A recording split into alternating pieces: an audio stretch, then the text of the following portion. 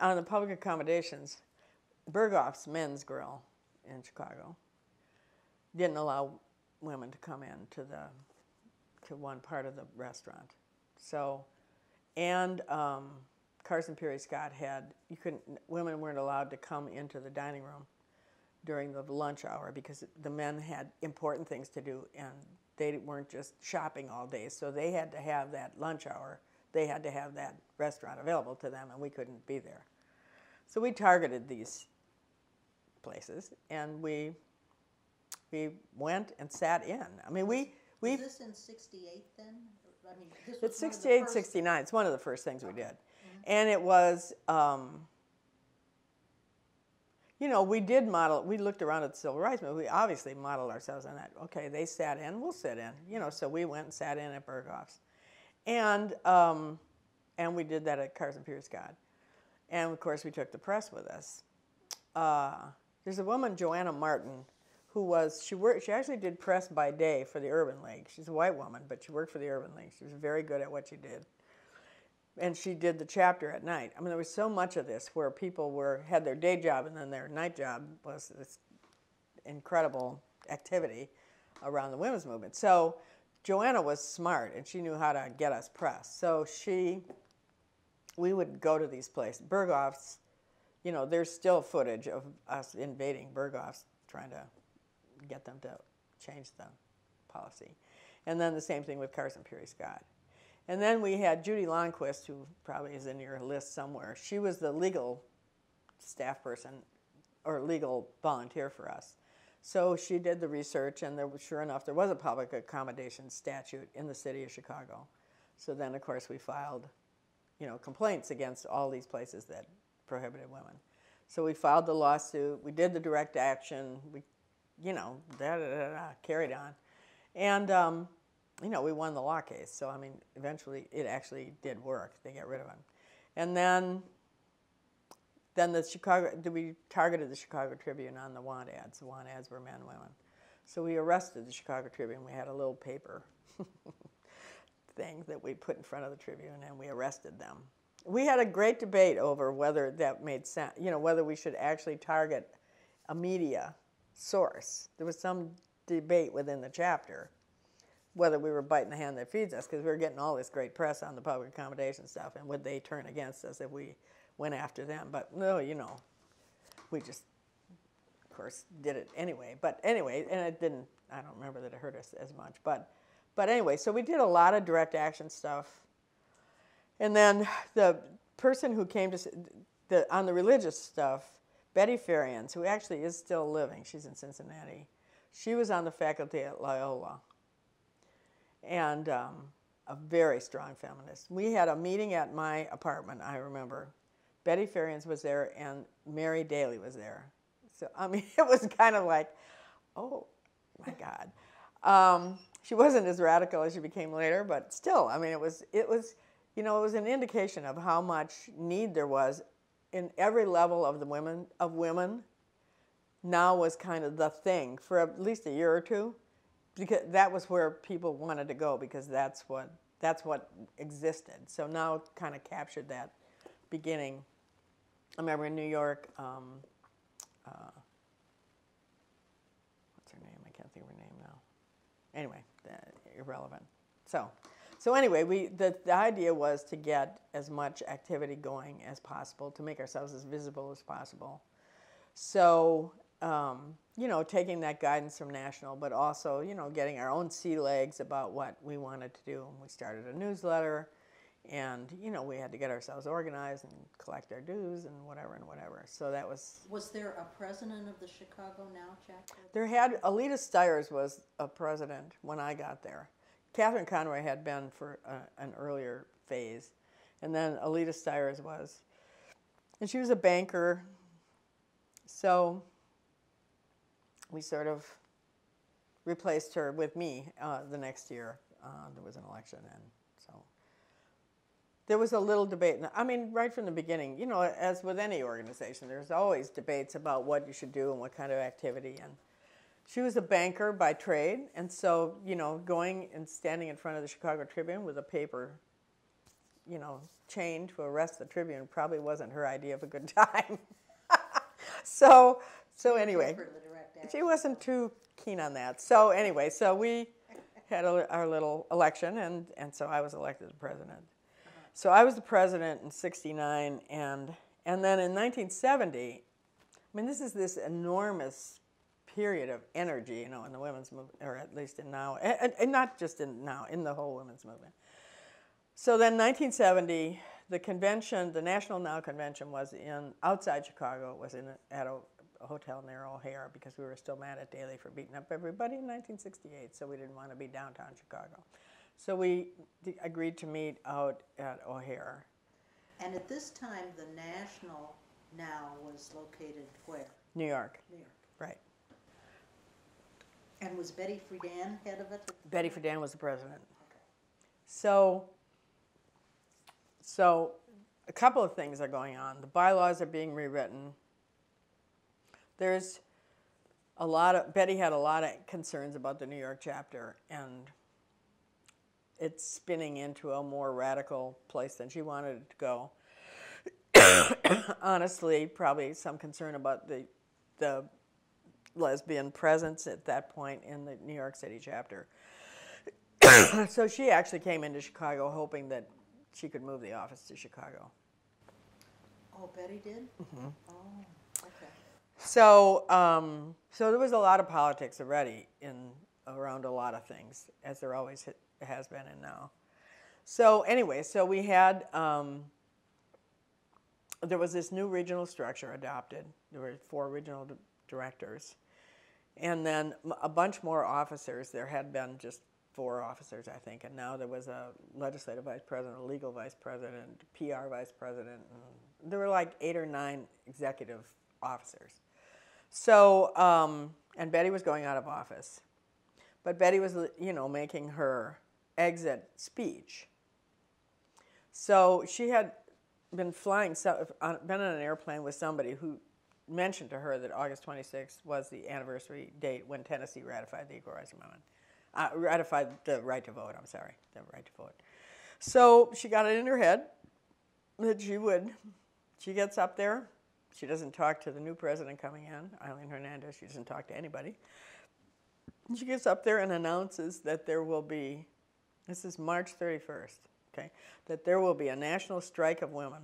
They will, women will leave their jobs, they will leave their kids, they will, whatever they will do. And we will have, on August 26th, the anniversary of women, the 50th anniversary, we will have this national strike. And we're like, what? You know. Um, but it was, ay, ay, ay. I mean, Aileen was furious. I mean, a lot of people were furious. But you know what? She Who told was us to. Aileen? Hernandez. She was the incoming president. She probably wanted to decide what the organization might do in the year she was the president. But hey, uh, you know. Uh, so Betty announces this women's strike. So it was, it was that naivete of newness. You know, we were all like, okay, Betty told us we have to do this. I guess we have to do this, even though it doesn't sound too sensible. So, so in Chicago, I mean, speak for Chicago. New York had a big. They had fifty thousand. We had twenty five thousand. We really did. So anyway, we all got together and tried to figure this out. We were always interested in having relationships with, with other organizations. We were good at we were good coalition builders, and that's partly because of Catherine Conroy. Catherine Conroy was a labor leader, so she was always interested in labor being a part, trying to bring more labor people in.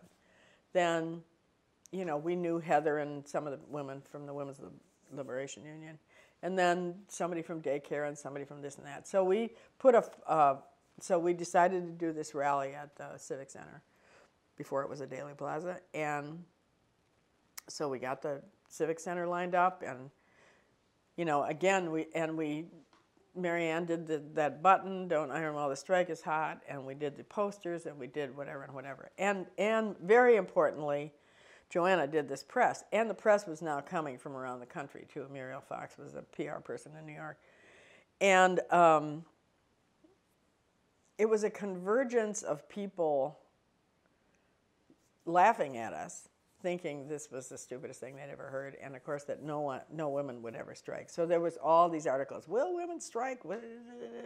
Front page of the the Sun Times, you know, just these banner headlines in the week, the couple days before. You know, we're trying to get people to this thing. Well, I mean, never in my wildest dreams did I think that the plaza would be filled. Never, never, never. But because of all this publicity that the press really created, they created our crowd because everybody came on their lunch hour. We were that was a smart thing. We picked the lunch hour. And so everybody's on their lunch hour. It's a beautiful day. It's middle of August. Da, da, da, and here they all come, and there's like 25,000 people looking at us. I got up there. I was, you know, running the the the, the program, and I, I just couldn't believe it. So there they were, and um, I mean, it, it transformed the organization. It transformed the women's movement, I think. I mean, it became more of a national phenomena. The membership doubled that day. doubled. People just signed up. Not that it was big to begin with, but it doubled, and you know the impact was tremendous, and the public relations impact and the impact around the world. I mean, the pictures went around the world and whatever. So you know, good old Betty. It did have an impact. And did people actually strike? I mean, did they not go to work? Very few. There was one woman. This was I don't know if this happened elsewhere, but in Chicago. So we're you know dead tired, and it's almost the end of the rally. this woman comes up to the podium with her child. She has brought her child to work, as Betty said, and she's been fired from the Morrell Meat Pack Meat Pro Meat Company, and it's on LaSalle. So it's like, so Judy Lonnquist, lawyer. So we announced that this woman has lost her job, and that we're marching over to the Morrell offices. So here we go. It's at the end. I mean, a lot of people have left, but I mean, I'll never forget this. So we're marching over with this woman her baby to LaSalle Street. And now there's several thousand people on LaSalle Street. The noise of, of chanting on LaSalle Street with those tall buildings was deafening. I'm sure that guy was like, oh, what have I done? So they march, Judy Lonnquist and the woman with her baby march up to the guy's office. Well, big surprise. She got her job back instantly. So that was great victory. So it was it was a moral. I mean, so that gave us a series of stories too. I mean, all of that gets a big bigger hit in terms of people learning about this. And then the phone rings off the hook, and you know we don't even have the organizational structure to really handle this level of participation. So I mean, that was a big scramble to try to get more things going. I was elected the first Midwest regional director at that regional meeting um, Mary Ann Lupa took over as president, I guess. In 1970, was it? Yeah. So I, I think she was the vice president. So she took over as president, and I became the regional director. And I had a hundred dollar um, budget in 13 states. Hundred dollars a year. Uh huh. Yeah. So and I got in my car. For 13 states. 13 states. So I mean, I would, you know, and this is no email, no nothing, right? Just phone and letters. So I just set about to start chapters in all these cities across the Midwest. So, you know, Cleveland, Cincinnati, and. You would go to the cities? I would go to the cities. You know, I would find somebody, you know, I would look at the national membership, call somebody up, and um, they would be thrilled that the idea of the original director was going to come. They would organize a meeting, and we would go there and we'd start a chapter. And it did work it did work. I mean, I don't remember ever having somebody say no.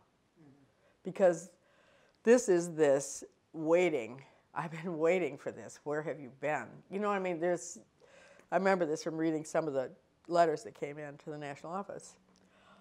I'm so happy. You know, I've been waiting years for this. I'm I just can't believe this. So it, it's really a nice. It was an amazing. It was an amazing need mm-hmm. for someone to articulate for women um, I mean, the you know, in all the book, um, Gail Collins' book, and um, the woman who wrote the book on Betty Friedan, who actually, I actually like that book.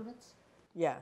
I mean, talking about these women, I mean, sending all these women to college, getting these great degrees, and then expecting them to do nothing was just an amazing, I mean, contradiction. And so when somebody said, hello there, no, no, no, you don't need to stay home, you can get out and do something with your life, do something different with your life. There was a, a backwash of eagerness and people wanting to do that. And I mean, Ladke and those women, they were all young, and they worked at, you know, they were all college graduates. They were working at some Scott Foresman or wherever they were working. And, um, but I mean, they were so underutilized in their job.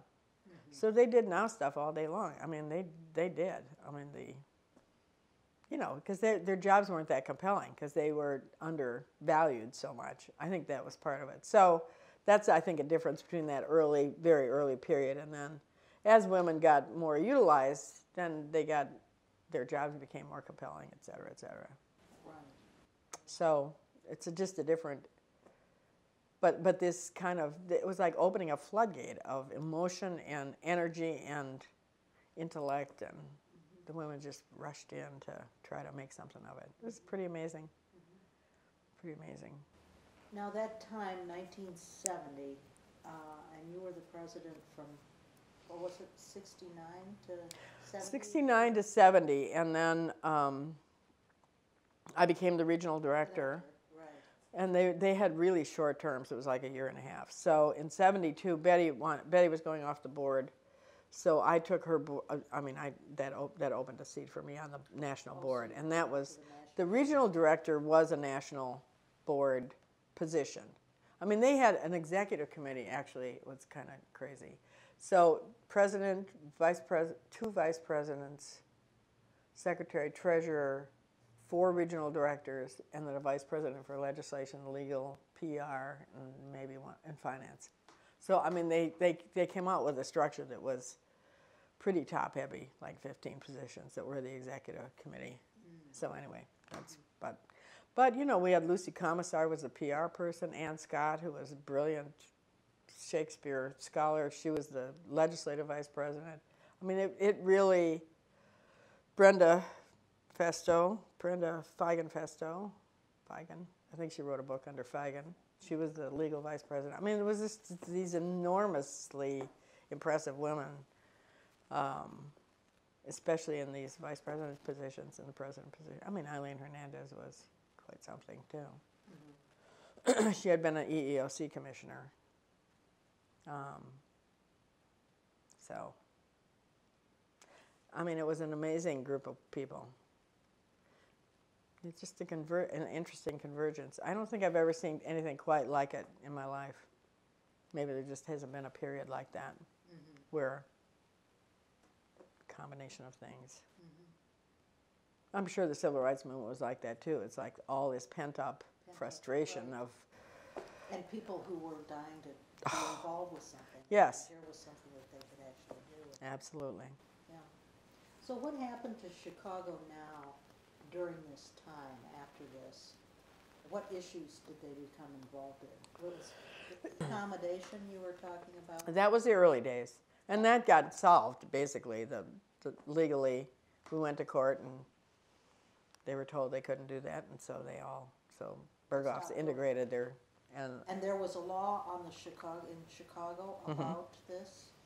And it was, uh, was it an anti-discrimination? You Uh-huh. couldn't discriminate uh-huh, in public accommodations? probably was passed. I'm sure it was passed by the civil rights movement, and somehow gender got in it. Okay. I mean, that would be an interesting story of who did that because that was unusual. I mean, if it was a bill passed, There was the original, uh, what was it, the E- EEOC Act, when, where they put in gender yes, at the last that was a joke too, right? That's a joke? Mhm. Yeah. But this was a Chicago law, This is a Chicago ordinance. Ordinance. 176A, I believe, is the number. okay. But anyway, Well, that's a story, we'll have to look up that. yeah, Yeah, yeah. yeah. Judy Lonnquist, um, is, I have her number. She's in Seattle now, but she was a labor lawyer. She worked for a labor law Spell firm. her name. L O N N Q U I S T. Okay, Judith Lonnquist. all right. She's a pistol. Um, And she's in Seattle now. she's in Seattle. I've got um, I'll give you her address after we get done with this. Um,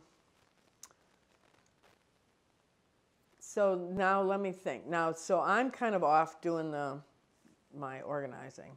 Mary Ann's in the chapter. There were a couple things. I think at this period of time, you're going to have to check me on the facts here. Illinois was rewriting its constitution. So we were involved. Pat Polis was a member of the chapter, and she was active, P O L I S. She was very active on the um, Constitution rewriting thing. Um, the chapter. Con, right? Huh? ConCon. ConCon, exactly. Right. So we, we did ConCon. I don't remember exactly what our angle was. Probably some women's stuff. Probably getting neutral language or whatever the heck we thought was. I don't think we were trying to get the Equal Rights Amendment in at that point, but um, because it eh, the ERA passes Congress on March 27th, 1972. So that becomes then a major um, activity of the chapter. The chapter was very smart about the in the early days of the ERA campaign.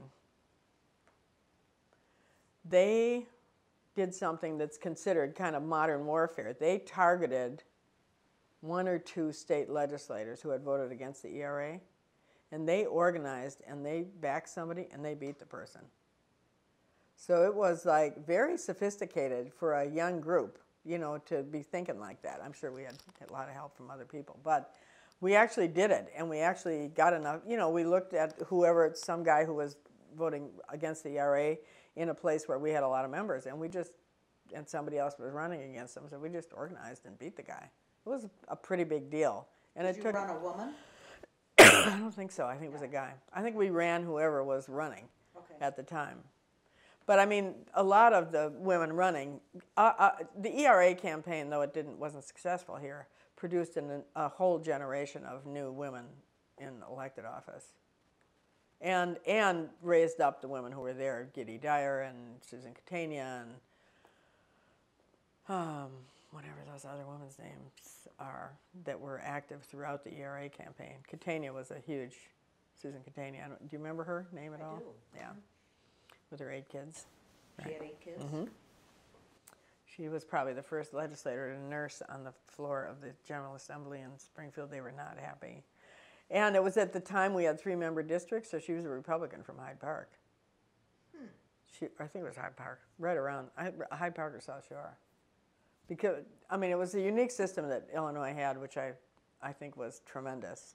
They had three member districts, and only two, not more than two, could be from one party. Hmm. So in the Republican districts, you had one Democrat, and in the Democratic districts, you had one Republican. But the Democrat, the Republican in the Democratic district was a moderate. You know, and probably the Democrat in the Republican district was probably more conservative. But anyway, it made a much more mellow state legislature. It got in the the con that came later. That um, I think Quinn was involved in that. Anyway, they got rid of it. That was too bad. But so anyway, going back, so in the in I think you asked in the early '70s, the ERA, um, uh, employment discrimination. The Chicago chapter had one of the things that we got going on right away was, and Lonnquist was a part of this, and Charlotte Edelman was another part of this. We and Mary Lynn Myers, who now lives in South Dakota, I think you might know her of her too um, we did we set up this hotline and off, yeah and offered people to I don't know if it was a it wasn't a dedicated line but we advertised our our our phone number and we would offer to go with any woman who wanted to file a complaint with any agency with the EEOC or with a state agency. And we actually did. We sent people with these women to take on their employer. We helped them write the complaint. We helped them. We helped them through figuring out how, how what kind of evidence they needed, et cetera, et cetera. And a lot of it was done by volunteer lawyers. It was a pretty uh, important service, and and then the agencies got to know our people. So it gave us access to on the enforcement side in a really good way. It was a really good strategy to do that. It's, it, it advertised us as a group that was very helpful um, to women, not just feminists, but women who had job problems. It, so it gave us wider access on an uh, area, on an issue we cared about, and, and it provided something helpful. We also had, Lupa might remember this more. We filed, we represented a woman who worked for the city of Chicago, who worked for Mayor Daley, basically, who worked for the city. I can't remember what department she worked in, but we represented her. And we took the case through court, and she won and got back pay. So, I mean, we, we just were very diligent and moving along and trying to, we took it seriously, you know? Can't discriminate against women in the workplace. By God, we're going to make sure that you don't do it. So we just went about our business. And you were all volunteers? All volunteers. This is the amazing thing. We were all volunteer. We didn't get, I think we started an executive director position maybe when, maybe, maybe it wasn't that late. But, but the initial stuff was all done by volunteers.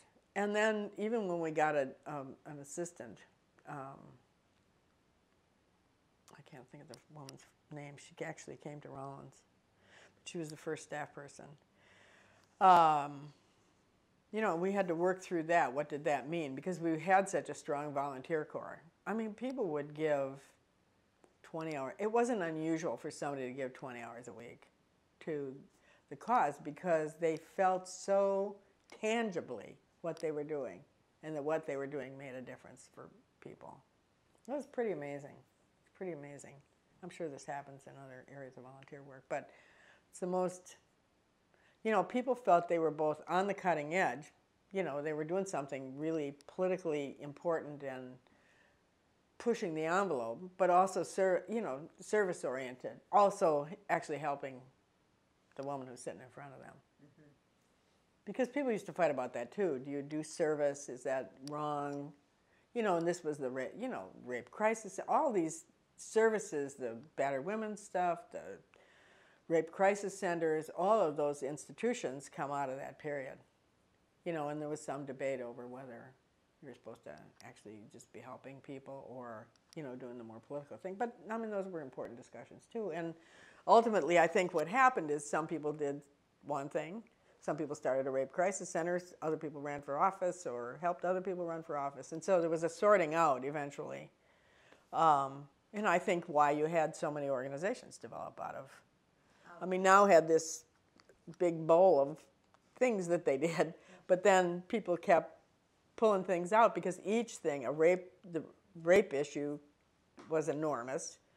The credit issue was enormous. The battered women's issue was enormous. The employment issue was enormous. And so all these, you know, uh, uh, different organizations formed out of the NOW flower came a lot of buds, you know, that became, you know, all women employed. I mean, NOW wasn't, they work together NOW and, the, and women employed work together, but women employed, you know, then took on that employment issue over the last 30 years in ways that NOW couldn't do. so it's a multi-issue organization versus the kind of concentrated, which actually has allowed for women of many political stripes to be involved too. I think, you know, they have different. Um, You were talking about helping women file these claims. Yeah. Uh, who, who actually did that? Was that a, a sort of a designated group or was it a lot of different? Well, we had a committee, you know, and um, either Charlotte or Judy or whoever else would Mostly attorneys then. Well, they would help us, though. I remember going. I went. I mean, I remember going with a woman, and um, because they couldn't always be available during the day, and they you know, worked for, you know, I mean, so we would trade off. You know, who could go, and we had our committee that met, and then we would get the women in, and we would um, somebody would meet with them and tell them how to file the thing. We got pretty good at it, so that people could do it without the guidance of an attorney every time. But we always usually had the attorneys check and help us figure out and make sure we're doing the right thing. So, you know, and most of them weren't going to go to court. They were just going to they were going to be resolved internally in the agency, which is, you know, can be a very good thing. Right. Um, so it was pretty amazing. Mm-hmm. Pretty amazing. Um, now you talked about women employed, Yeah, and that got started in seventy-three, was that right? I think that's seven, About 72, 73, yeah, yeah. Uh-huh. And do you know something about how that got started? Day Creamer, um, who's now Day Piercy, who was, I mean, was born Day Piercy, but he was Day Creamer at the time. Um, you know, the Midwest Academy plays a role here because we're all getting trained by the Midwest Academy, which became a controversial issue, by the way, within NOW, which is another whole story. Uh, when was the Midwest Academy started? Right that same Right time. at the same time? Right around that same I time. think it was, yeah. Right at the same I can time. look it up, but, yeah. It's 72 or 73 And that was also. started by Heather, right? Heather. Heather and Paul. And the purpose was to train people um, yes, in that organizing skills? yes, in organizing. Um, uh, what's his name? The famous Alinsky? Olinsky didn't believe that women sh- could be organizers and didn't train them. So that was kind of the impetus for the Midwest Academy, um, among other things. I mean, Do you know why he thought they couldn't be? I don't know. I, I don't remember. I probably knew at the time. Okay. You know, his whole organizing thing was, well, a lot of it was church based. I mean, that right, that right, a lot of it was Catholic church based. Um, although Gale Cincotta was, you know, the leader of, I thought she was Alinsky trained, so don't hold me to all of this, but, but that was uh, at the time there was a feeling that there was a need for the Midwest Academy, partly because the women weren't being adequately served by the tough guys in the Alinsky model. So they and they did develop a different model. It's more organizational model. Um, I mean, the Alinsky model is pretty rigid. They do the same thing now that they did 40 years ago. You know, pretty much. Um, so anyway, but uh, but it became controversial within NOW. But that's a whole nother story. So where were we? Well, we were just talking about the kinds of issues that NOW was uh, dealing with Yeah. the, about the 1970, and then you Right. became the regional director. and- Right. And then we were talking about women employed and how that. Yes. I guess I'm, I'm kind of interested in. the Well, I think- there.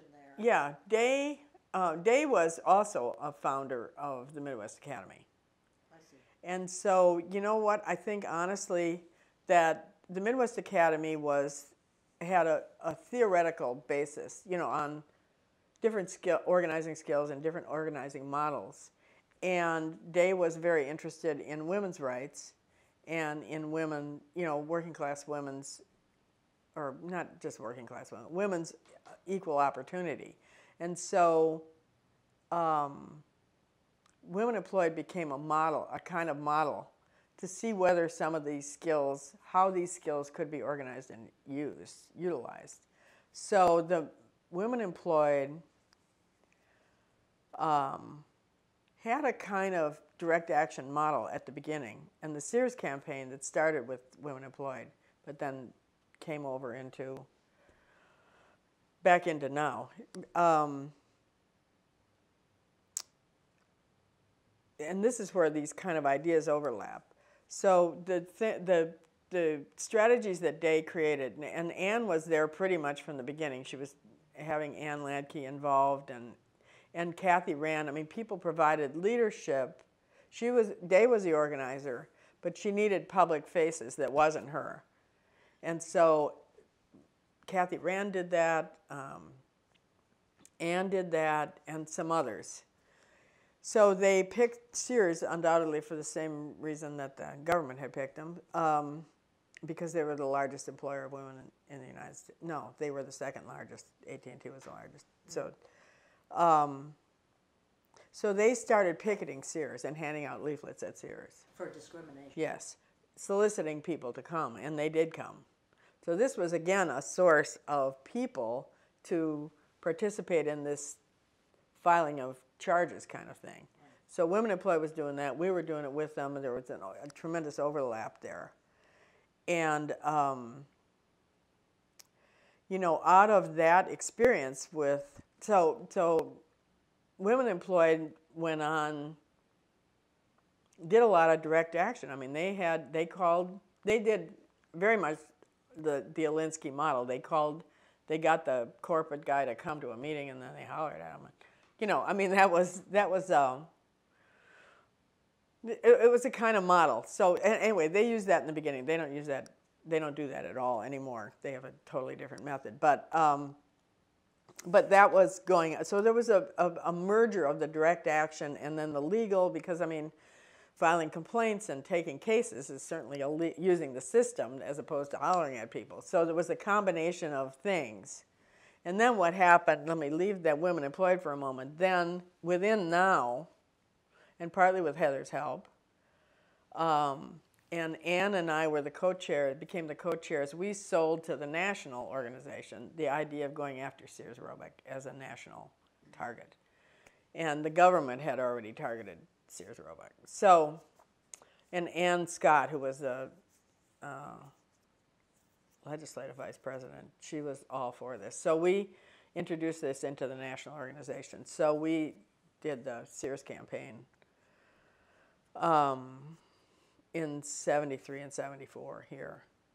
And so there was kind of a merger of activities between women employed and NOW in that period and uh, we we identified all these women and identified from identifying the women, and then we just started to study this corporation. I mean, because it was a retail corporation, we could send. We did this all over the country. We made a little checklist, and we said to people, "Go to your store." At, and put down the time of day and go to the, each department and count the number of when and the number of women who are the clerks in the department and the number of whites and blacks or probably blacks probably didn't even say browns. Just count them well i mean it's the what we knew and what we were trying to verify we knew that sears was putting the men only in, men into the big ticket items the washers and dryers and refrigerators and the women into the socks so they got their percentage, their, what do you call it, bonus or whatever they call that. I can't remember what the term is. So that the men got a 7% bonus on a refrigerator and the women got a 7% bonus on a sock. And that's how it was. And when we, we, we knew this was happening, but honest to God, to have people go there and observe and just write it down, I mean, it's very simple. You have eyes, you can see what color they are, what sex they are, what time, what department? Period. Very simple. We just fed all this into the EEOC as a way of verifying what they were seeing mm-hmm. with their analysis. So hmm. it was pretty cool. Yeah. And it's a retail place. You know, we picked a retail place so precisely because you can see it and because it's vulnerable. Retail is vulnerable to public pressure in ways that somebody who makes a widget that somebody buys for a make another widget, they're not, they don't care. Mm-hmm. But if it's a retail, if it's anything the public buys, they're much more vulnerable to pressure. So that's why we picked them. It was pretty wild. Mm-hmm. So, so anyway, that was a that was a good project. And what what um, what deter what we what was determined by that research, not the not not so not the one at the store, but the one at the tower was, I mean, they leafleted. They would go out. This is so beautiful. They would go out at eight o'clock in the morning, and they would leaflet, and there were no men coming in because the men didn't come till nine o'clock. So they would go from eight till nine. They'd see no men. Then at nine o'clock. I mean, this is the other thing this where you can visualize tower? at the tower. Then at nine o'clock, the men would start coming in. I mean, this wouldn't be true today, obviously, but you know, and then talk to these women. They all had college degrees they all had the same qualification as the men who were coming at nine, but they were called, the men were called assistant buyers and the women were called buyer's assistant. And the women had a typewriter at their, their desk and the men didn't. So it was the same qualification, but they were tra- being tracked totally into a different system within the company with the same qualifications. So that's what the government ultimately got them on was that job classification was the clearest one at the tower in the in the management programs. And when we smashed that, that was a big deal. It was a big deal. All this stuff is a big deal, really. It really is, yeah. Mm-hmm. So it became a national, uh. Became a national campaign. agenda, Yep, A national campaign, right. And, uh, and you and Ann were the. We were the co-chairs, Of the national. National Task Force. Task force. Right. Yeah, The the thing that became problematic or opportunistic or however you want to say it, I was running for president of NOW, and I ran on the the Sears camp. national? hmm And I ran on the Sears campaign, 1974. So. So anyway, so not NOW had at that time they had no um, anybody who came to a national convention and paid their dues could vote. So the opposition recruited, actually, literally recruited Sears employees to come because they were opposing me. So there were they like recruited Sears employees to. Sears was actually there and voting against me. It's very interesting. But anyway, so I lost the election by about 35 votes. It was pretty wild. And the, uh, person who won was Karen DeCrow. Karen DeCrow. So, um, and Aileen Hernandez was a Sears consultant. I mean, so this is kind of, I haven't really told this story before, but, well, Heather talks about it all the time. But anyway, so, so it was a pretty interesting development. It also, About this, I, you know. I'm sure you have, yeah. Uh, so it's not, you know, but I, I'm, I'm, I'm interested in whatever you feel like you can say. Right. Because I, I do know that these things happened. Yes, they did happen. And so at some point, we were, I mean, we were pounding Sears. So Aileen, you know, I'm sure she, ha- she may have a totally clear conscience about this from her point of view. But anyway, she set us up a meeting with Arthur Wood, who was the head of Sears. So we actually had a meeting with Lonnquist and me and Ladky and a few other people. We sat across the table from, from uh, Arthur Wood, who was like, "You have no right to, you know, ruin the reputation of this company." You know, I mean, it was serious. So our demand was that they give us their affirmative action plan in writing. You know what? They finally did it. They did give Yeah. it to you. hmm Were all companies required to have one? Have one, but not give it to you, not make it public. I, I mean, what we found about Sears, this is kind of a, an amazing thing, and you know, we've got these books all being written on it, so it's going to be good. You know, it's going to be. Uh, people are going to know about this, but what we found, what the racism was as bad as the sexism. I, I mean, it was incredible. They didn't have any at the tower at the time.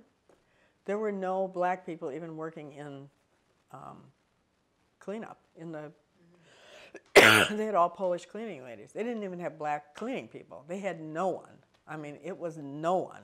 It was kind of shocking. It was pretty extreme. and in the stores, I mean, all the, the there was this this inequality between the women and the men, but there were no black people either. I mean, we went down to Stony Island. I think there were like two black people in the whole store. It was completely black. Mm. You know, what I mean, it was just, it was shocking. Mm-hmm. It was, it was shocking. It was shocking mm-hmm. to see this. But anyway, we tortured them. We went and testified in Congress. We went and testified. The government was holding some kind of hearings in St. Louis about poverty in America. We went and said Sears employees were eligible for relief, which they were. You know, but I mean, we just drove them crazy. It was great. It was great. It was a lot of fun. It was good, but it was a very, it, it showed what people can do. Mm-hmm. You know, whether it can still be done, I don't know. But it, it, it, it was what a, what, you know, to, to get at these big institutions, it's not easy. But I think some of these methods could be gone back to. I mean, I really do. To, and, and huh? It's worth learning about how it was done, It is. I think it is too.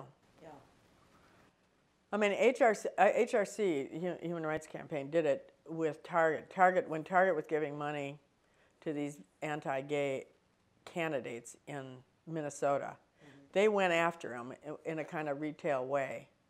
I thought that was interesting. But that's one of the few times that I've seen somebody actually, and you know, they back down because Target, you know, they can't afford to. I mean, anybody who sells to the public is somewhat vulnerable. But I mean, it has to be an issue the public cares about too. So, anyway. The Sears thing went on and on. And, you know, Arthur Wood was also the chair of Nixon's campaign. That wild? Anyway. So, um, what was the relationship between Chicago NOW and the National NOW at this time? Well, Chicago NOW, because, you know, when Betty, you know, figured out how to move the office to Chicago. I mean, first of all, that happened. that happened. We were in South Shore, Okay, and when was that? 1970. Nineteen seventy.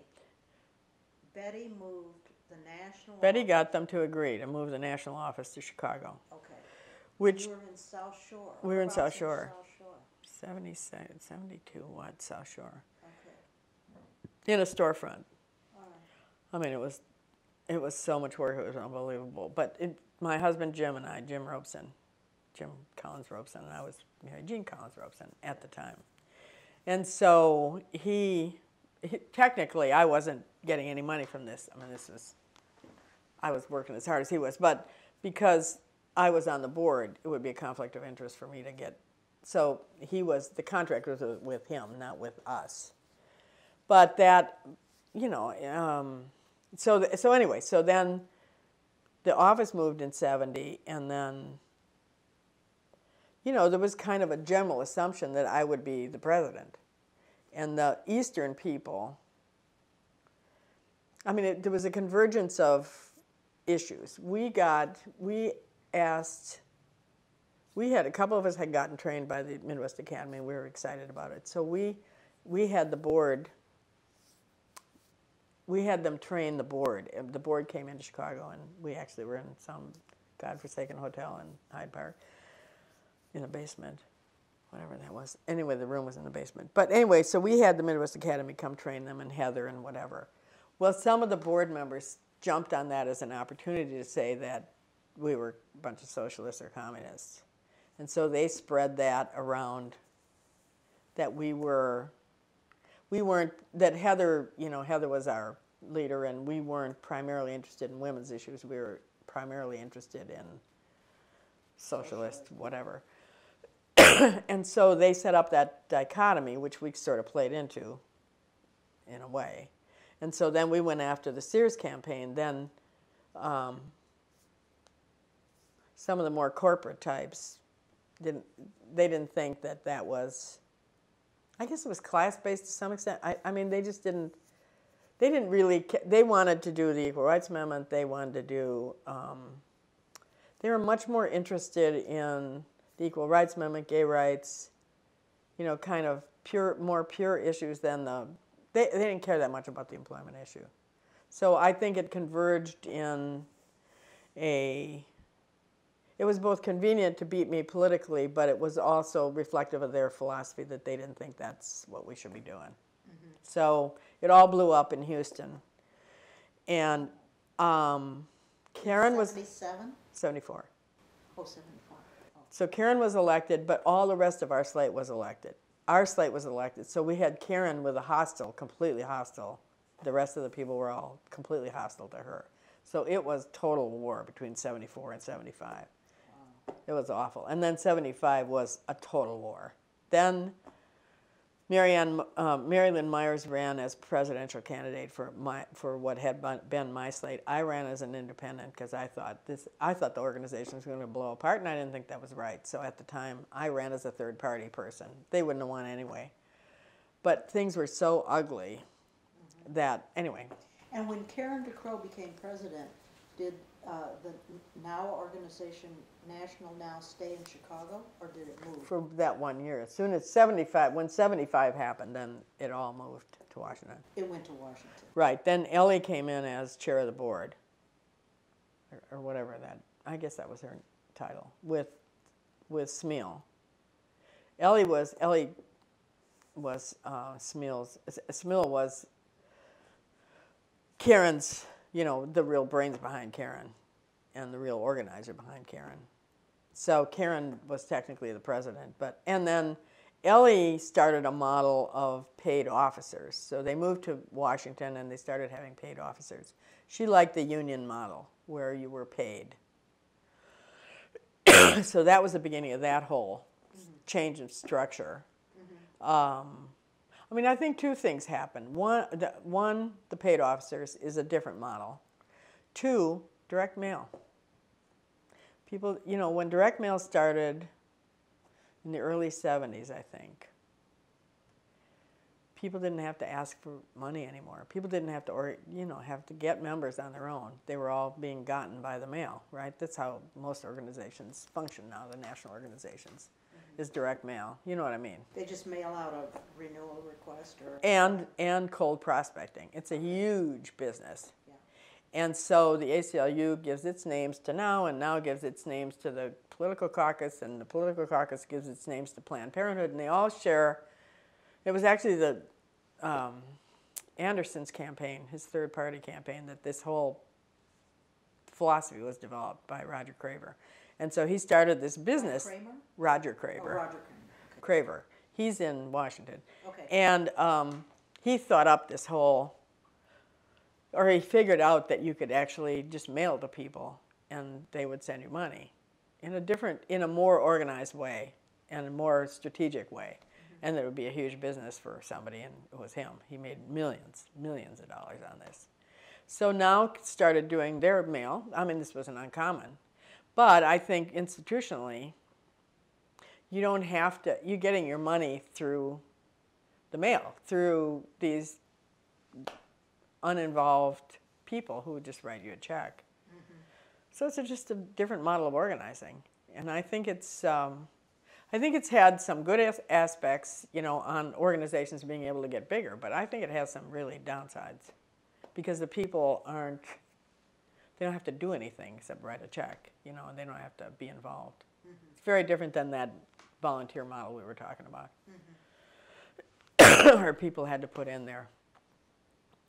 The, the success of the organization depended on people actually doing the work. It really doesn't with these direct mail things, you know, it just doesn't. Right. You hire professionals to run the thing for you, it. totally. Yeah, So it's just a really different model. right. So anyway, I think that convergence happened at that time. Anyway, 75 was a disaster. It was an awful convention. It was And, and that was. anger was- in Philadelphia, Philadelphia. right? And was there a convention every year then? Year to year and a half. Okay. They've changed the bylaws. I mean, like Kim Gandy was in seven or eight years. I don't know quite how that happened, but anyway, they changed the bylaws so that mm-hmm. the officers would stay in longer. But they're all paid people, so they're. Now I went back and I ran for vice president. I was a paid person too, so I, I shouldn't complain about it. But Vice President of National, national action. National Action. After um, this was leap forward here a long time. After the ERA campaign, um, I was very active on the last 1980, the last ERA campaign here, and then I decided I would maybe run again in for national NOW. So in '82, I decided to run for vice president. For, I, I was thinking about running for president. I talked to Ellie, and um, I'm, not that I was running with her. I, well, yes, no, that that's not true. Ellie was backing Judy Goldsmith, and so she said, "Why don't you run as her vice president?" And then there were slates at that time, um, and there were four candidates. So I won by like four votes. So, so when we, so in '82, that was when the election was. It was in Indianapolis, and Ellie, not that she liked me any better than she ever did, but she there was somebody else running that she didn't want to win, Ginny Foat, who was from California. Um, so she thought I was the best person to beat Foat. So she was all for my running for that. So anyway, um, so I did run and win and moved to, that's when I moved to Washington, Now 1982. Judy Goldsmith, you mentioned her before. Yes, she was president. She had become. She's from Wisconsin. Yes. She had become. She was vice president uh, with Ellie Smeal's second term, or maybe both terms. Vice president.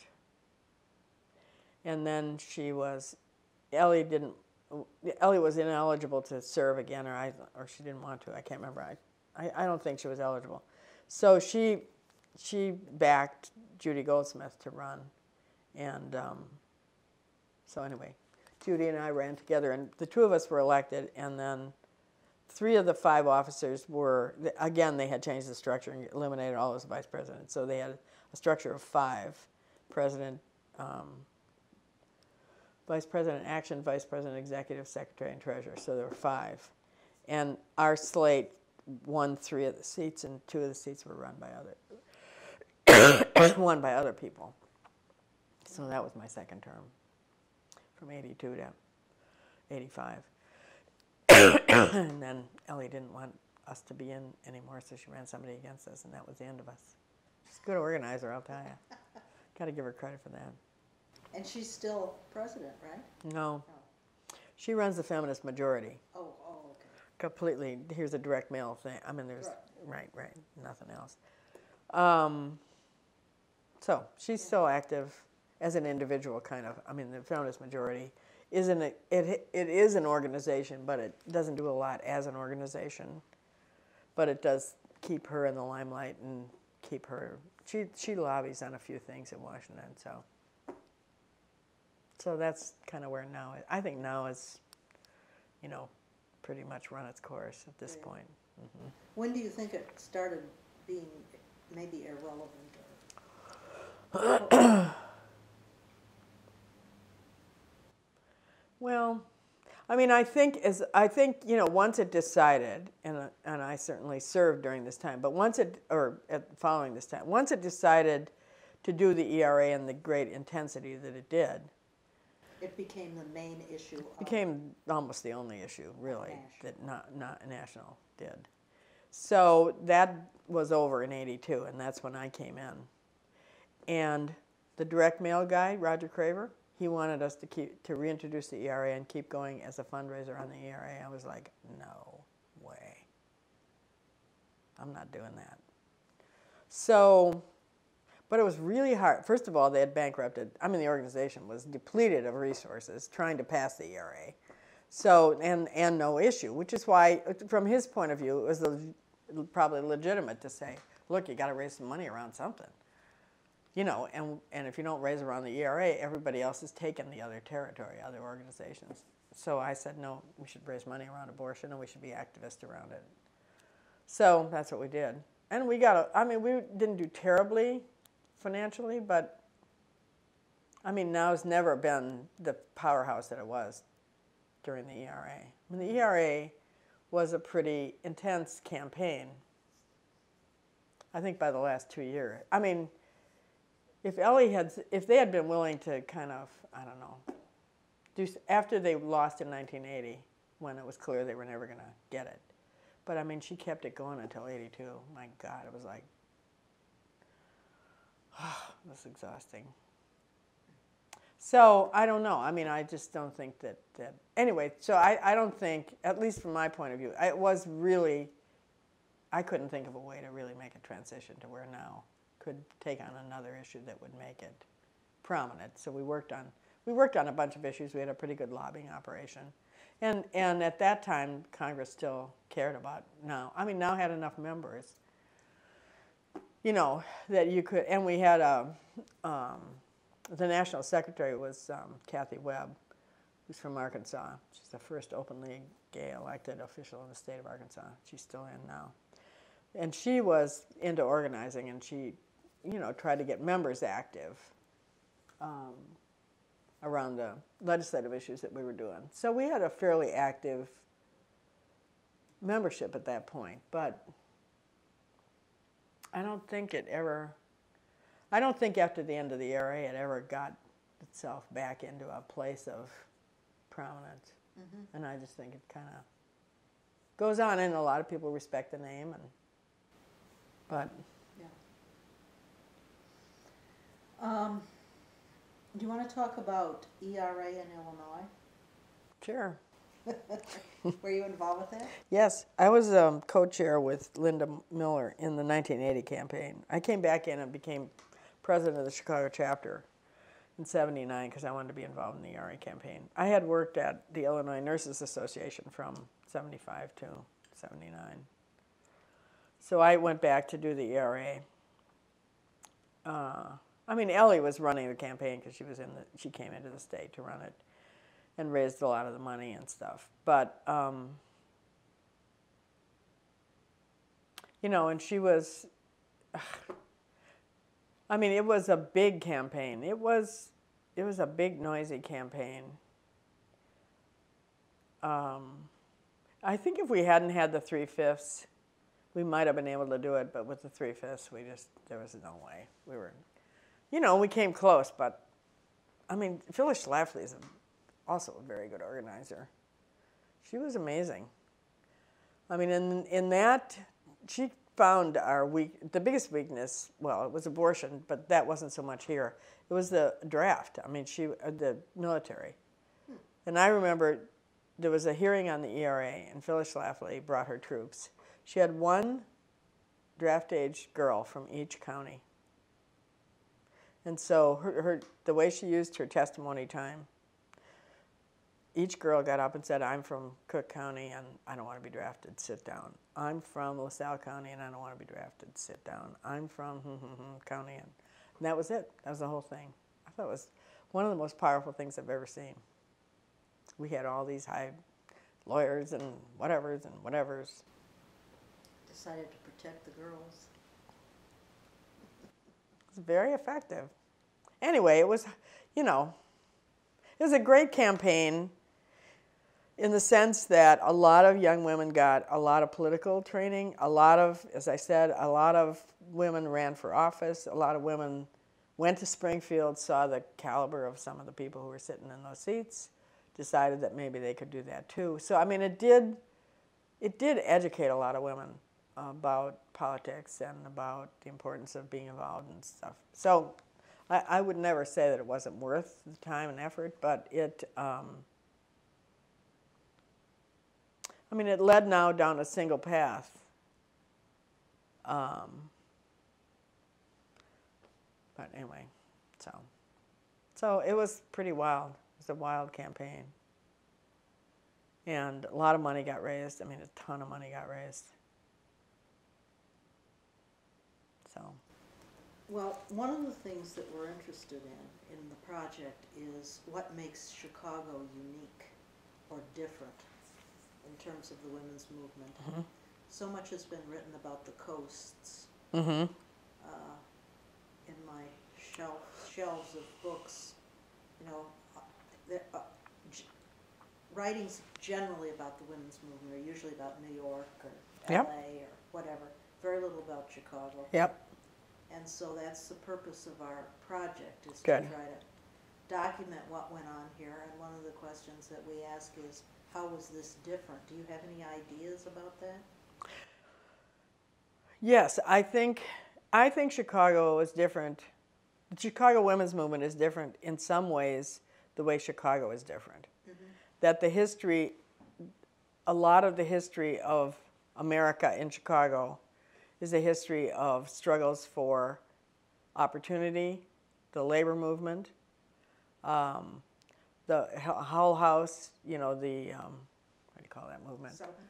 Yeah, Settlement. settlement movement. A, a lot of the the public health initiatives came out of here. Very practical. Um, objectives. Uh, a lot of it r- really rooted in people and work work a day people, ordinary people. Um, I felt that about the the efforts that we made in, around the employment issue, in the Sears campaign, and the AT and T campaign. That um, we were trying to, uh, it, the, irrespective of about whether that woman who was working at Sears, whether she was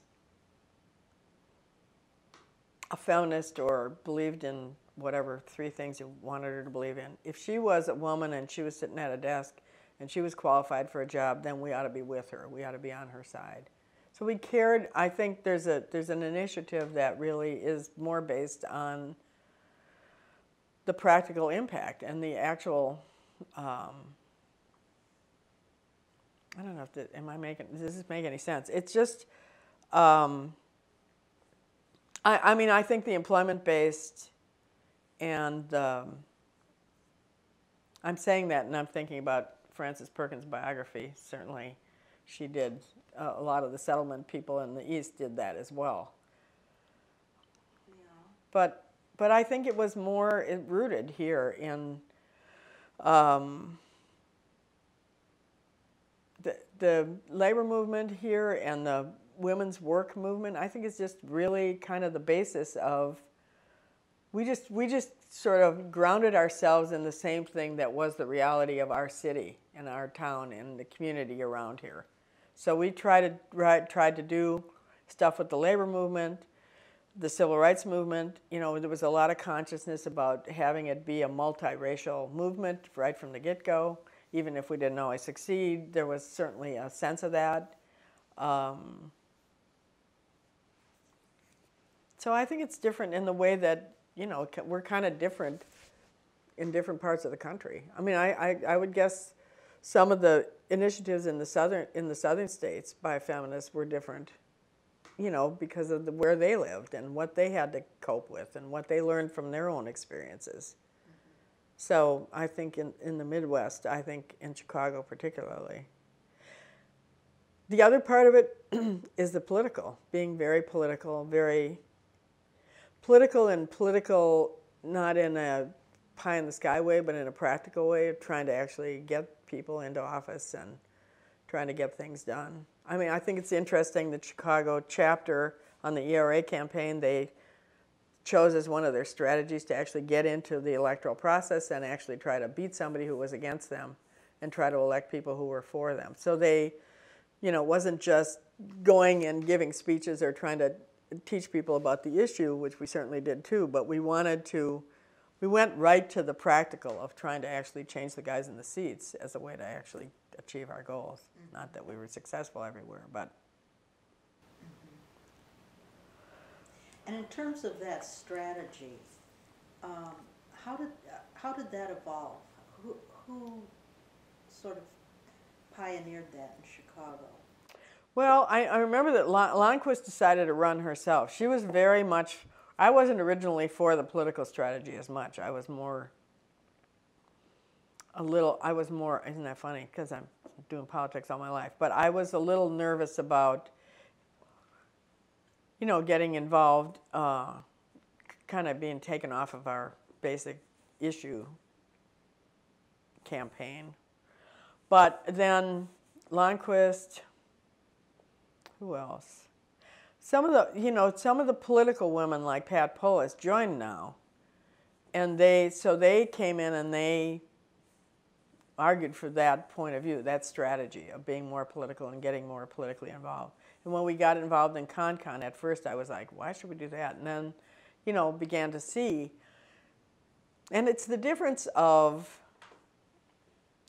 of understanding of being willing to sit at the table and being part of the decision making and being trying to be a part of the governing and the, or the the going inside the government, trying to do something practical, um, as opposed to just standing always standing outside. I mean, God knows we have these fights every day in the Democratic Party about purity and whether or not somebody's good enough and whatever. So I'm I guess I'm always I feel like Chicago is more inclined toward the practical and maybe that's my personality too, but I think it's. Uh,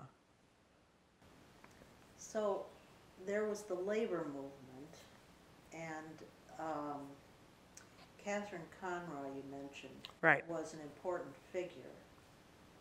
Uh, and what was her influence on, on NOW, do you think, on Chicago? Well, she started the ch- first Chicago chapter, and then she was always active in the chapter. And she, you know, she was both active in the chapter and always, she did two things. She tried to pull labor people into being sympathetic to NOW, but she also tried to get the NOW people to understand the importance of the labor movement. So in January of 1970, before we had this national conference, we had this conference on employment, and we did it. She helped us do it, and we we put together. We had Shirley Chisholm was our speaker, and um, so we knew enough to do that politically. That was interesting. Anyway, so but anyway, so we did this this employment in conference Chicago? in Chicago. Um, and 300 people came. So I mean, it was reinforcing of our. Who were the people that came? You know, I don't. I I mean, they came from. Some of them were from labor unions. Some of them were our members. Some of them were from other women's groups. Um, you know, and we did these workshops on how to. Oh, was it's very early. Yeah, It's incredible. yeah. Um, So real early on, Chicago NOW Right. was involved with this whole employment, the Mhm. employment issues.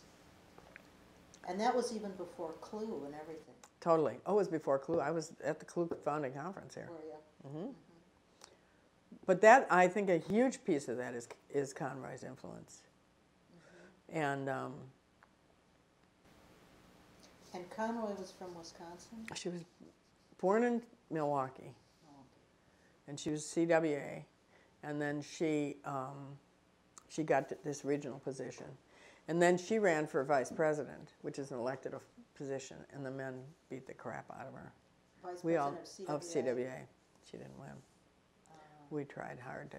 We tried, you know, we worked with her and tried to. We made her buttons and stuff. It was very. She was amazing.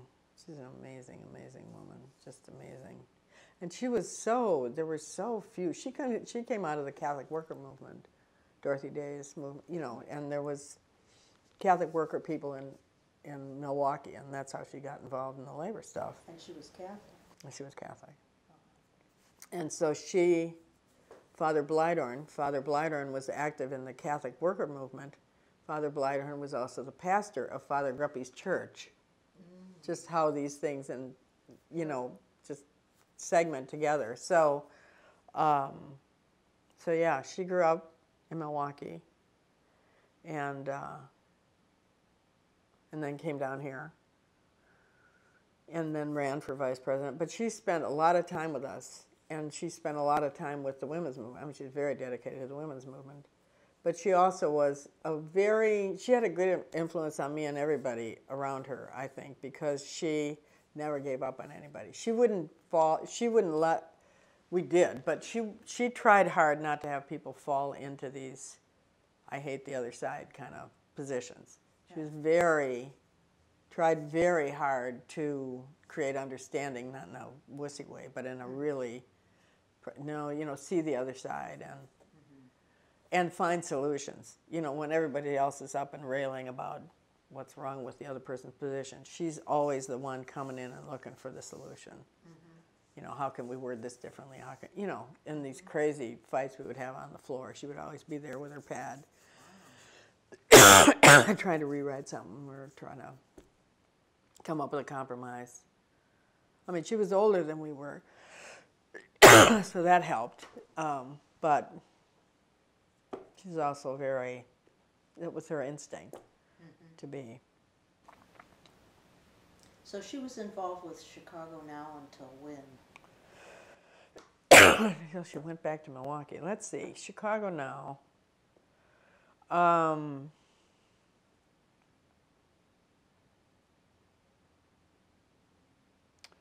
where was she when I was going off? You know, she wasn't, I don't think she was at the 74 convention. So she was already out of, I don't think she was. I don't remember her being there. So I think she went back to Chicago, uh, to Milwaukee.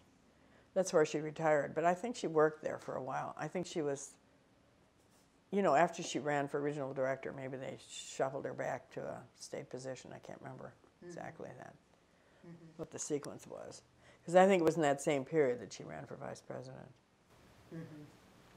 And then she was probably near retirement Yeah, yeah, that's what I think. Yeah. She went back there. And then she worked with a lot of the young women, you know, in the labor movement there. I mean, she had all her little mentors there. Um, one of them, Annie Crump, I just saw her this last weekend. I mean, she she became she got Catherine's old job with the CWA. She had it for about 20 years, but she grew up with with Conroy. Did you know Addie Wyatt? Mm-hmm. mm-hmm. At what point did you connect with Addie Wyatt, you know? Well, see, I think we connected with Addie Wyatt through Conroy because she was meat cutters. Right. Um, so I think she, I think Addie Wyatt was at that January conference, that that employment conference. Clara Day was Clara Day Teamsters. Did you ever hear her name? I heard her name. She was at the Teamsters Union. Day. Clara Day, black woman. She was a black woman? She spoke at our 1970 convention. I mean, our our thing, the Strike Day, Women's Strike Day. Clara Day spoke for the labor movement. She was a Teamster, and now Conroy pulled that off. Now that was pretty amazing.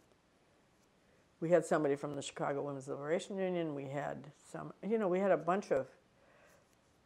Oh, you you may know this woman. What was um, Al Raby's wife's name?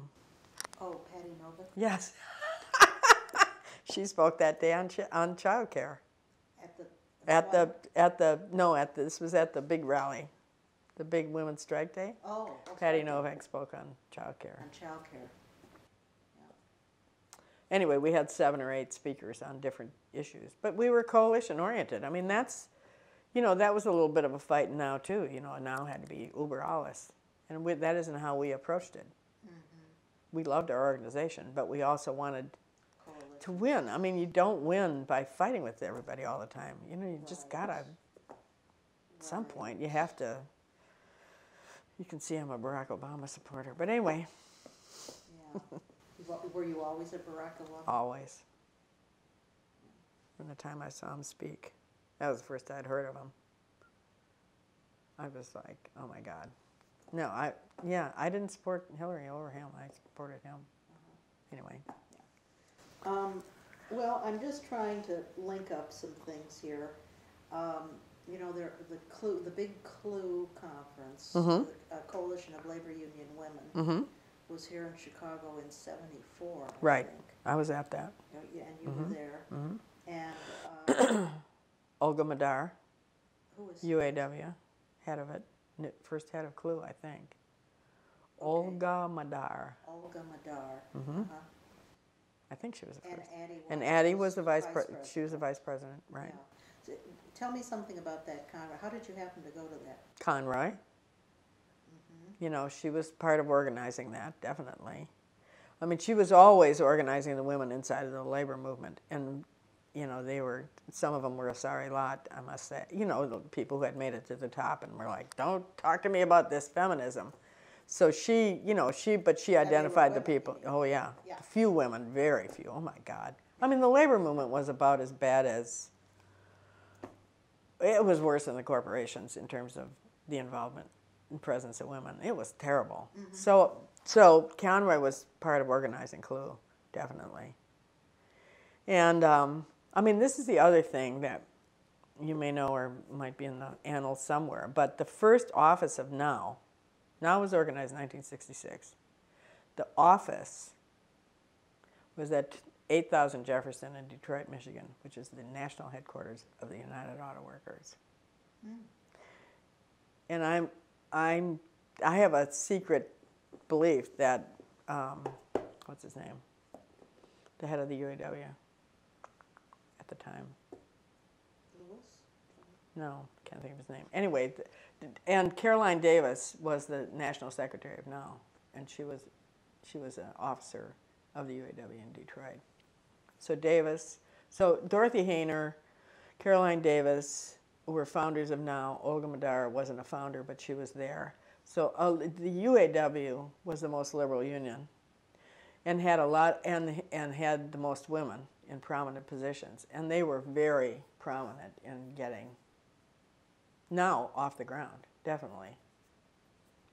Walter Reuther.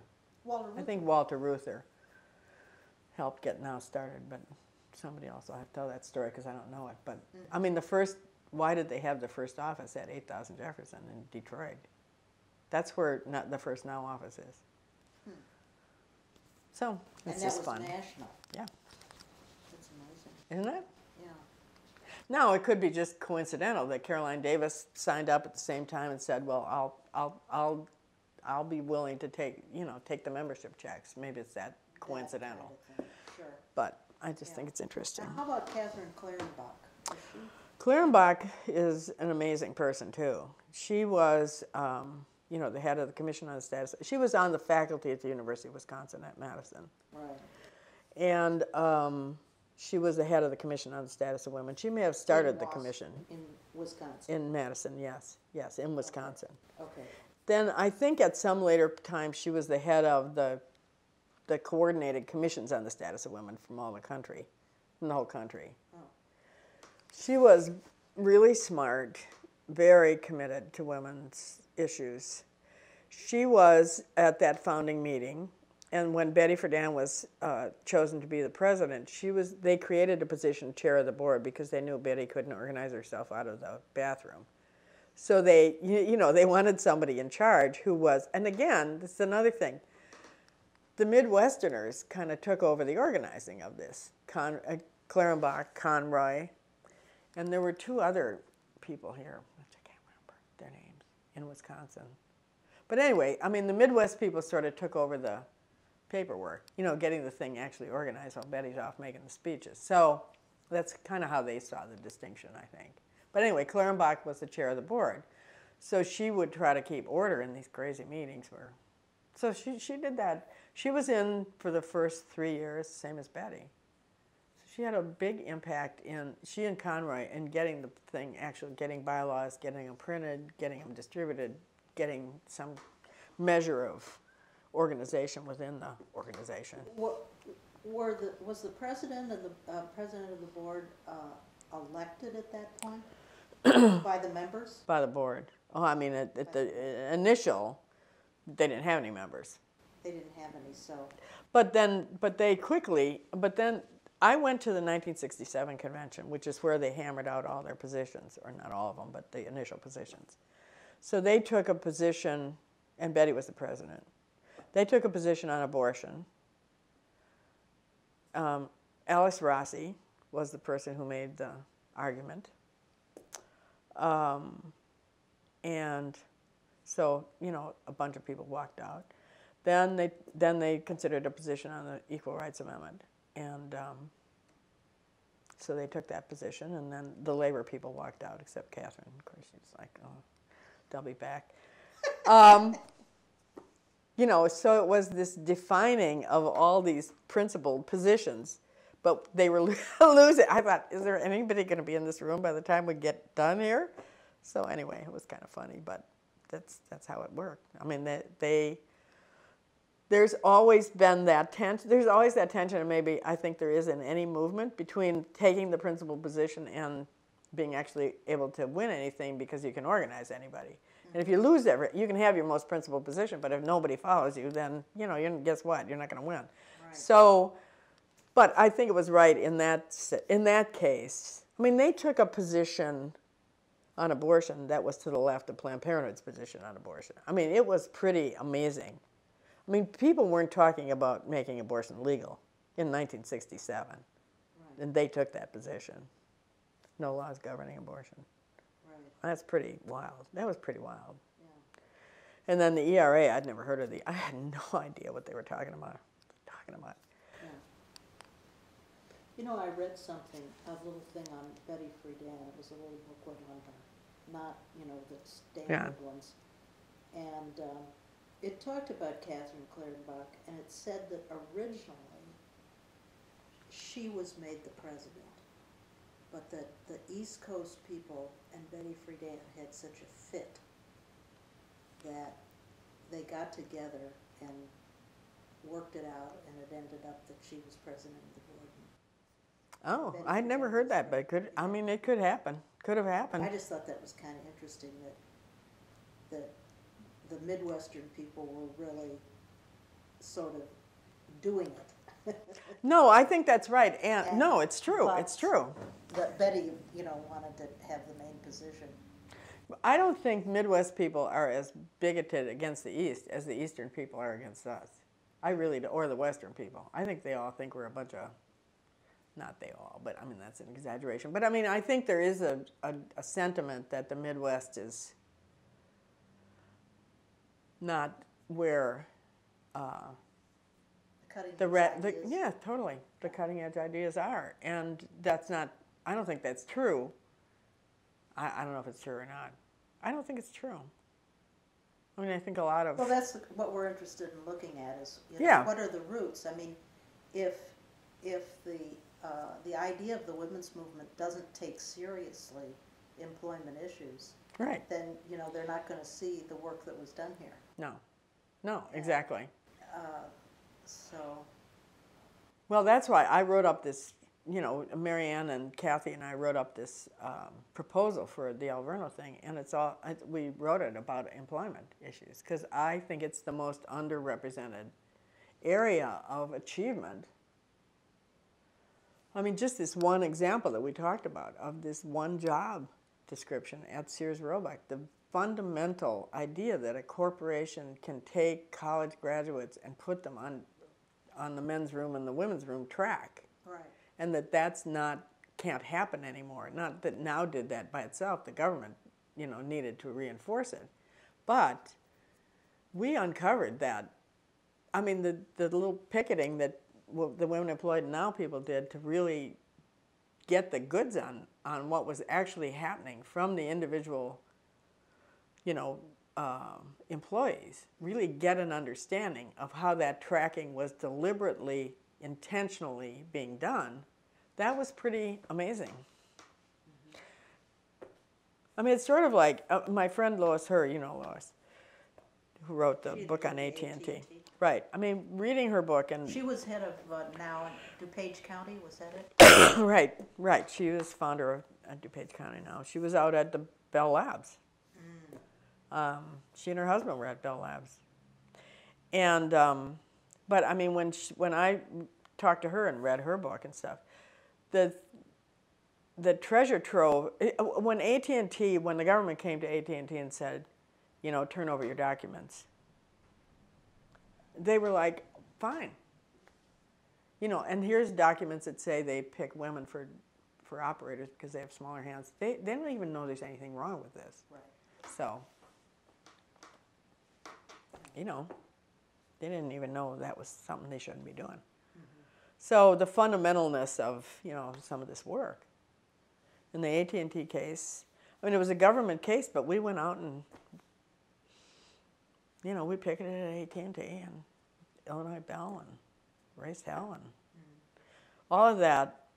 You know, it both it was directed toward the management, but it was also directed toward the employees, toward the women to begin to get to help the women surface their own dissatisfaction with what they were being offered and to let them see it's Consciousness raising, totally. Yeah. that there could be another way. Right. right. So. Well, is there anything else that you feel like that's uh, important, that you feel is important to talk about? In terms of your experiences in Chicago, maybe specifically? i can't think of anything Okay, we've covered a lot of areas. right Um, t- tell me about the, uh, the organizing, uh, conference for CLUW, for Coalition of Labor Union Women. You said you were there, i was there yeah, what was it like? Well, it was pretty amazing. I mean, it was the first time the women had. I remember, you know, I, I remember there was a lot of excitement. There were a lot of people there. I, I can't remember how many, but it was at that hotel down on the lakefront that we used to have all our meetings at, that labor, uh, whatever, doesn't matter. Um, but uh, a lot of great speeches, a lot of great workshops, and people coming from all over. I think. I can't remember whether the labor unions were kind of forced to send their people. I think they might have been, so the, the women got their way paid to be able to come. I think that happened. So that, I mean, I think CLUW happened. The, the labor guys were smart enough to know that they shouldn't let this get out of hand. So I think they paid so that there was quite a large contingent, more than you would get if people had to spend their money to come from wherever they came from. I think so they they tried to sanction CLUW so that it didn't get away from them. So it was a pretty big convention. Um. I heard three thousand. I think that sounds right. I think that And sounds they right. didn't expect anywhere near that. Yeah, no, Well, I mean, no. it just was way, way beyond Yeah. what they thought. Yeah. You know, and the labor women are, I mean, labor women have made some progress. Unfortunately, the labor movement is not hanging together as much as we'd like it to, but I mean, we have, what, two major unions with women presidents, at least two the SEIU and AFT. So, I mean, at least we have now women presidents of unions that are enormously women. I mean, the teachers. I mean, NEA had a woman president couple years ago. So, but I mean, those barriers, they were tough to, you know, the, I mean, the, watching this thing in Wisconsin where Scott Walker was, you know, when he put in his repressive collective bargaining bill, he excluded the cops and the firemen because he knows they vote Republican. And fortunately, you know, they they said no, they wanted to be included in the labor movement. So that was a big switch. But I mean, that's the tradespeople were tough not to crack. You know, the fire and they were terrible to the women who got hired at the beginning. Terrible, terrible, terrible. So mm-hmm. this is progress. This is progress. Right. But it's these are failing institutions. That, and I mean, had the labor movement been able to to actually open up more generously to women at that per- critical period in the 70s, maybe they would have got more members. I don't know. Well, what do I know? But I always felt it was unfortunate. They they were not. You know, they kind of fought this stuff every step of the way too. Remember, the IBEW was on the other side of the AT&T case, mm-hmm. fighting for their guys. So. Okay, well, this has been wonderful. Oh, it's there- been wonderful Anything you want to say in conclusion? Midwest is the best. No, I, I mean, I think Chicago's contribution. I'm grateful to you for all the work you're doing with other people to raise up this contribution that Chicago and the Midwest has made toward the women's movement because it's really, really important. And there are women like the women in the labor mo- in the women's movement here everywhere. You know, there are women in New Jersey or mm-hmm. New York who have the same needs that we, that were attempted to be addressed here. And some of them were, and some of them weren't. I mean, I also have friends in the East who did a lot of work on the employment issue. Noreen Connell in New York, and there was a woman in New Jersey who was the head of our task force on equal opportunity. So it's not that there weren't isolated people. It's just that the milieu of really hard work toward the economic issues was just reflected more in this part of the country. Period. The practical shoulder to the wheel kind of hard work and compromise that was that would bring about actual changes. I think was very in evidence here. Mm-hmm. So I'm proud of the work we did. Great. Proud of the work you're doing. I'll take credit for your work. you can take credit for mine. That's, that's a great Yeah. way to end. Yeah. Okay, all Yeah. right, thank you. You're welcome.